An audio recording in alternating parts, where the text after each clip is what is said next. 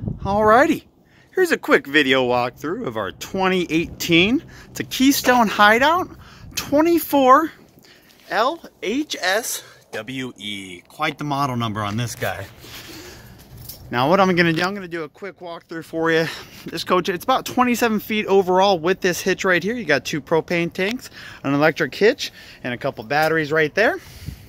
Now it is one of those kind of corrugated metal ones, which I personally love. It's much easier to replace panels if you ever run into an issue. Now it's a single slide out. It's a pretty popular floor plan. We'll check it out here in a second. But here's the weight. Gross vehicle weight rating 7620. And then just under 1900 less is your dry weight.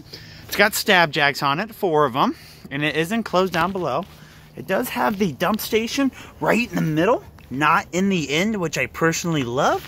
Because if you do ever kind of hit a nice steep incline and you got your dump there, it could drag and just completely rip all your plumbing out. Never fun. But here's the back of her. Comes with a spare. Nice big window, one of my favorites. And it does have an area to mount a backup camera if you want one shut this so you can see the side of it. Electric awning, of course. And it does have a nice LED strip under the awning.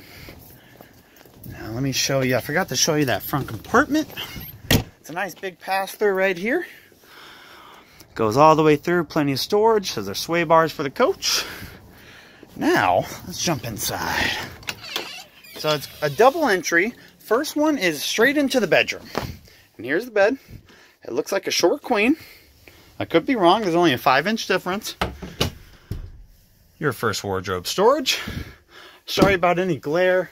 Shooting this pretty late. You do have some under, wow, you got a lot of underbed storage actually. Nice. And then on the left side, you got another wardrobe. You got to see power outlet there and one on the other side with two wind or yeah, two windows. Area to mount a TV right there. And you do have heat and AC ducted in here. It's a little, not a pocket door, but a slider. Shut off the uh, bedroom from the main living area. Thermostat right here. This door is your bathroom. We'll go there in there in a second. And then here is just a quick little peek without the glare. My gosh, of the floor plan. So you got the two chairs back there, a dinette, booth dinette, and then your fridge. But before we get there, let's jump in the bathroom. The bathroom is actually not bad size at all for an all-in-one. You do have a china toilet.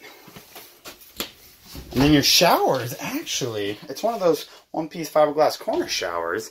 And I love these. You have plenty of room in them. I'm 5'9". I'm not very tall, but you could be well into the six foot and still fit. You're gonna have to bend down to get wet a little bit, but you can still fit.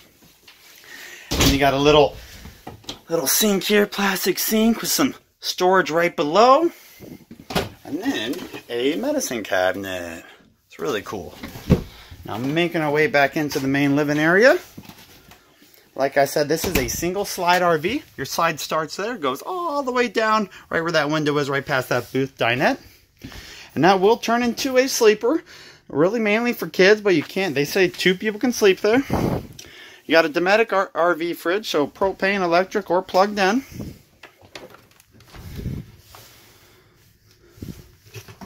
And then above the dinette, a couple drawers.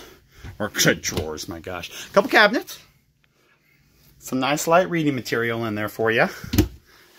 Now this is a 2018, but it is still used hardly, but still used. Now you got two recliners. They do actually recline. You just push back on them. And then in the middle of them, you got this like a little desk area with a central vac system in there. One of my favorites. And you can see the absolutely massive window in the back and then the couple on the side. And of course, additional storage. And that is one of those that kind of goes all the way through. Let's, let's open that up. There you go. Now finally, let's take a quick peek at the old kitchen. By the way, the second entry door is right there. And your control panel is hidden behind this door, which I love. Awning, slide control, water heater. All right, so entertainment center, couple drawers there, your disc player, TV, a little bit of drawers right above. Not bad. Not very deep, but you know, good for DVDs or CDs or something like that. Maybe not deep enough for a DVD, but and there's your nice. Oh, come here.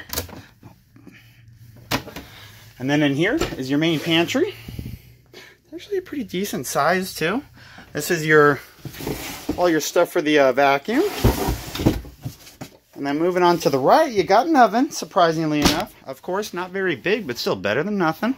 Three burner gas stove top with the hood. And you got your microwave above. A little bit smaller, but not a bad size. Two bay sink. And then a little like sponge. Oh, wow, you can't see that at all. Sorry about that. Little sponge area. It's a little dark, but not as much storage under the sink as I would like, but still not, I mean, better than nothing, that's for sure. But you do have these extra two drawers right here.